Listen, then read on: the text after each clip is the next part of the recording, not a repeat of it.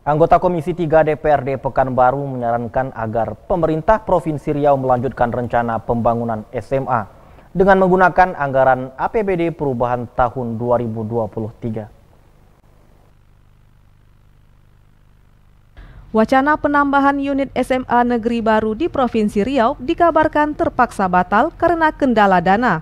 Hal ini mendapatkan perhatian dari anggota Komisi 3 DPRD Pekanbaru, Zulkarnain. Ia menyebutkan kebutuhan SMA negeri di kota Pekanbaru ini sangat tinggi, mengingat jumlah lulusan siswa SMP tidak sebanding dengan ketersediaan SMA.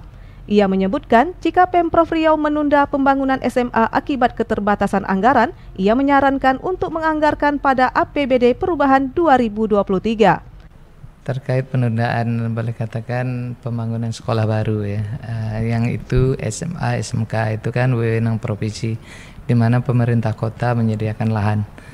Untuk lahan itu insya Allah ya persiapan Pemko itu sudah sudah banyak ya, sudah ada beberapa kecamatan.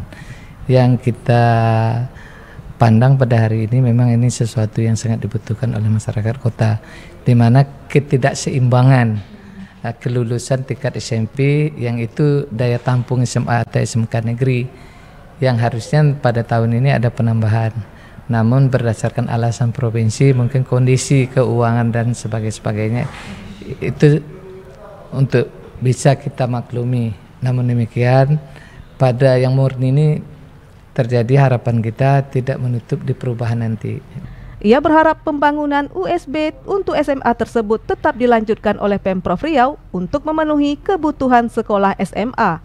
Nurkomala Andika dan Sugiarto melaporkan.